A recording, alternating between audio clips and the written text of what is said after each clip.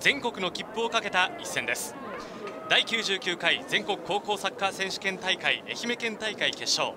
新田対済美の一戦をお送りします。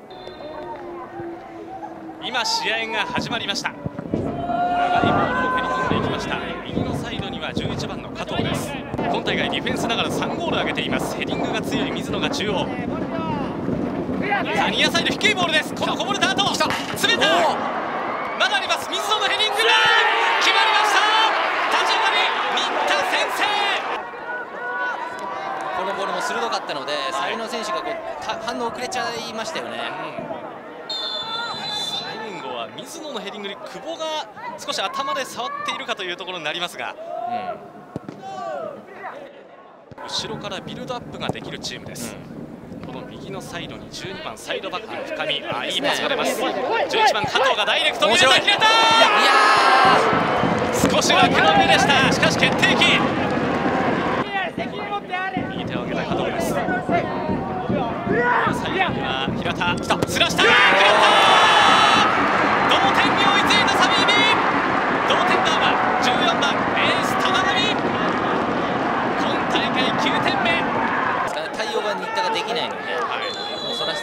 に間入り込んでるっていうのがもう良かったですよね。その思いはやっぱ強いですよね、えー、ユニフォームさあ18番ヒーラーのシュート。決まった勝ち越し。再び新田が1点決めました。18番ヒーラー。一発の裏ではありましたけどいいタイミングでボール出てきましたね、はい、またリードを広げました新田。手元の時計で32分。してましたね。はい。これもかなり人数が日本戦揃っています、うん、そして11番玉井の左足のシュート決めた3対1エース玉井リードを2点に広げました素晴らしいドリブルですね、はい、利き足とは逆左足を振り抜きました間に合いました。今サイドで準備をしています。さあこのボール。混戦の中まだあります。最後詰めた。決まった。4点目にいった。決めたのは9番の久保です。キーパーと交錯したっていうのもあるしここにも4人いるんで、ね、そのきっかけが1つあればまだまだチャンスあります。さあ9番の平田。あこれ2人でさあ落ち着いている。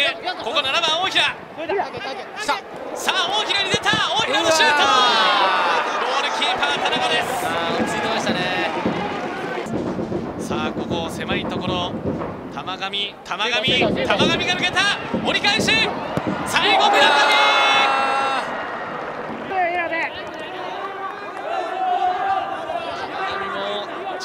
スのボール自分で運んでここまでつなげました、応援に来ている中でしっかりと結果を残したい。さあボールが出た。平田のシュート。おっとおちょっとしたことなんですけどね。顔をいました平田、はいまあ、疲れがもちろんあるので空振りした後冷静ではありましたけど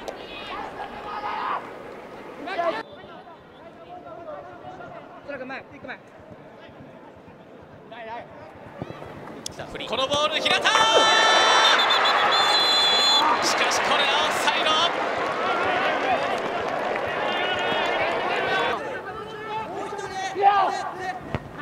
ここはさゆみがなんとか弾き出しましたがここで試合終了。新田高校去年の悔しさを晴らす見事な優勝。39年ぶりこれが5回目の優勝を果たしました。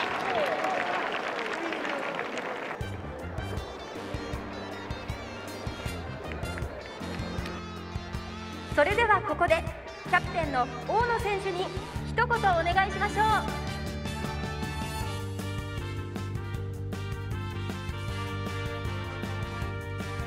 全国でも頑張ります。応援お願いします。山下幸人選手